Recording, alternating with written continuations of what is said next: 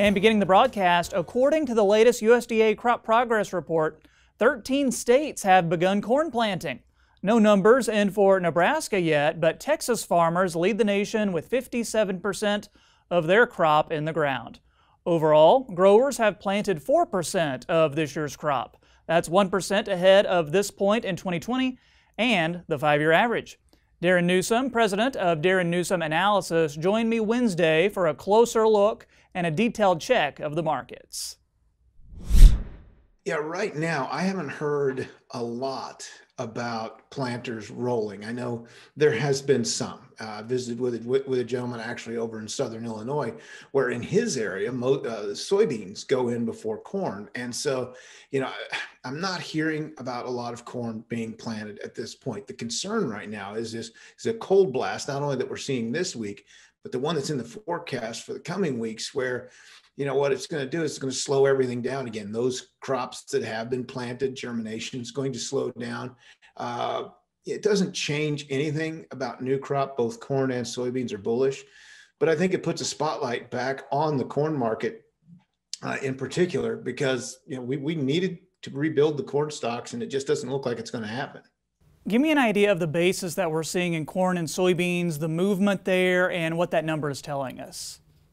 Well, in the middle part of this past week, we saw soybean basis, the national average soybean basis, and what I look at is the is the commodity national soybean basis index uh, created by Barchart. And what what it has posted 33 consecutive days. It had posted 33 consecutive days of of stronger of stronger values. So I mean, it has strengthened 33 days in a row basically since it rolled to the May 2021 contract. It's just an incredible run. Corn has done much the same. So we've got incredibly strong basis going on right now, both corn and soybeans.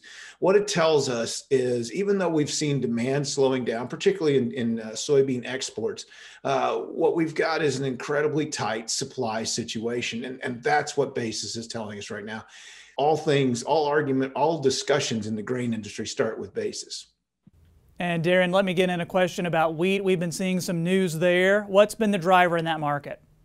Yeah, you know, as, as we hit midweek, uh, wheat all of a sudden just exploded higher. We saw some cold temperatures uh, earlier this week, you know, with with uh, sub freezing moving as far south as as uh, south, excuse me, as uh, west central Kansas, and so, you know, there is a concern. And then there, you know, forecasts are calling for more sub freezing temperatures across the plains.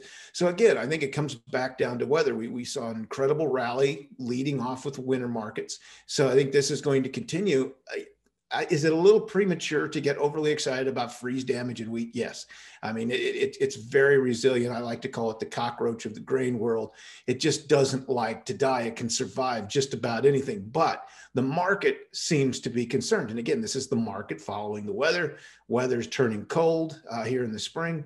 Futures market is reacting. And so we have to give it some room, have to let it run probably give us some pretty good selling opportunities, you know, for those producers who are looking to get some uh, some new crop wheat hedged along the way. And next up, let's talk about South America. We could probably spend an entire interview discussing what's happening in South America, but for the sake of time, give our viewers one or two of the main things that you're watching that we need to be aware of. Okay, issue number one the Brazilian real is incredibly weak. Uh, it continues to hang near its long-term lows while the dollar is trying to firm. So what this has, you know, you combine that with the new supplies that are available due to harvest in South America, particularly in soybeans. Uh, we're looking at Brazilian port prices well below those that we're seeing here in the United States.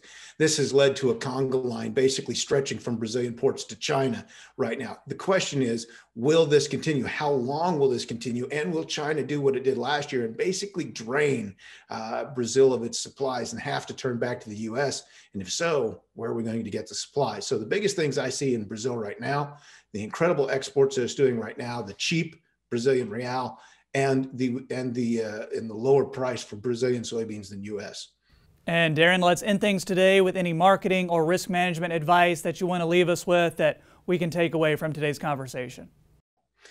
Yeah, you know, I, I, think what we have to do is, you know, we don't see these opportunities very often. In corn, probably the, the last time we saw a situation develop like this was in 2005, 2006, and that carried over into the summer of 2008. What we have to be very careful with here, again, comes back to weather. If it turns hot and dry, uh, with the ability of specs now, or uh, investment funds and speculators to double the, their position size, you know, we could really see an explosive market as we move through the spring and summer on any sort of weather concern. So we have to give these markets plenty of room. We have tight supplies coming out of one marketing year and into the next. So I'm not going to sit there and I'm not going to put a lot of targets in place. I'm going to let these markets run more more often than not, I'm going to use I'm going to use stops, sell stops, trailing these things. So I want to see a good momentum change before we start loading up the books on 2021 production.